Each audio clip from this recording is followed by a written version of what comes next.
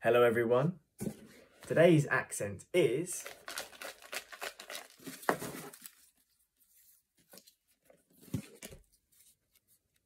South African. And today's dead joke is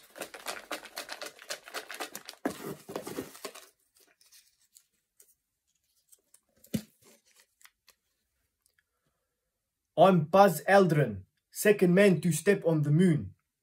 Kneel before me. Get it? Because, you know, you know, Buzz and kneel and kneel down. Do-do.